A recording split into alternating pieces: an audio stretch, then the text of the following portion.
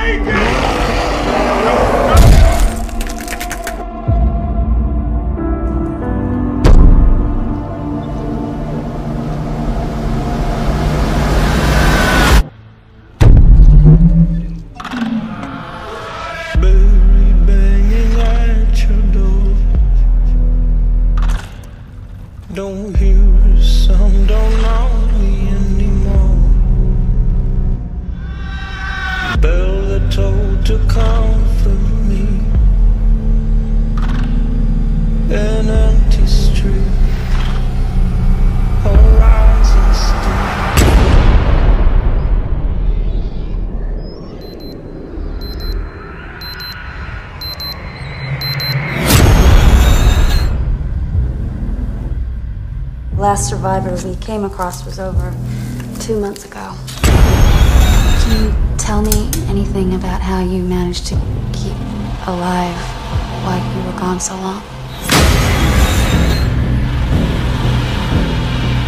Do you know of any other survivors?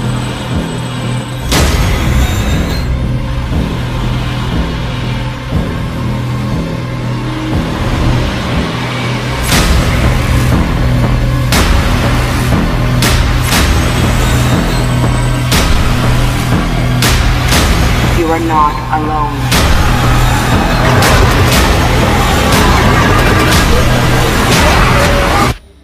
There is hope.